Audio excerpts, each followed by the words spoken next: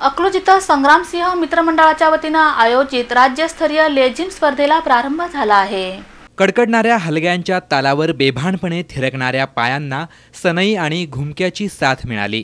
खेळाडूंच्या आरोळ्या दणाणल्या लेझिम खळाळल्या आणि तुताऱ्या निनादल्या. अंगात वारं भिनल्यासारखा खेळाडूंचा वेग वाढला आणि उपस्थित प्रेक्षकांनी मैदान डोक्यावर घेतलं. अशा जल्लोषपूर्ण वातावरणात विजय चौक अकलूज इथं संग्रामसिंह मित्रमंडळ आयोजित पंधराव्या राज्यस्तरीय लेझिम स्पर्धेला सुरुवात झाली. जिजामाता कन्या प्रशालेच्या सभापती सुलक्षणादेवी मोहिते पाटील यांच्या हस्ते या स्पर्धेचं उद्घाटन करण्यात आलं. यावेळी सीआयडी विभागाचे डीवायएसपी दीपक आर्वे हे प्रमुख पाहुणे म्हणून उपस्थित होते.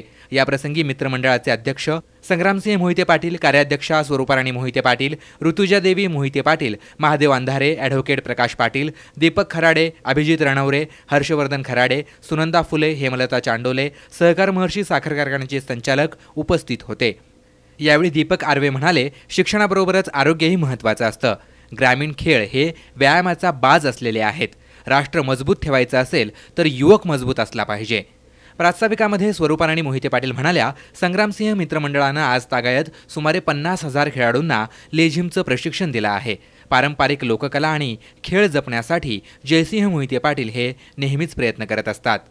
दिनांक अठरा आणि एकोणीस जानेवारी दरम्यान खेळवल्या जाणाऱ्या या लेझिम स्पर्धेमध्ये शालेय शहरी मुले सात मुली आठ शालेय ग्रामीण मुली चौदा आणि मुले एकवीस त्याचबरोबर प्राथमिक चार अशा एकूण चोपन्न संघांनी सहभाग घेतला आहे.